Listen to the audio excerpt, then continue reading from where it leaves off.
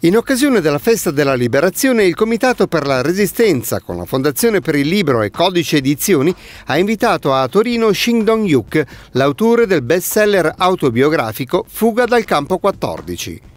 Nato nel 1982 in uno dei più terribili campi di prigionia nordcoreani, il campo 14 appunto, dopo qualche anno negli Stati Uniti, Dong Yuk vive in Corea del Sud.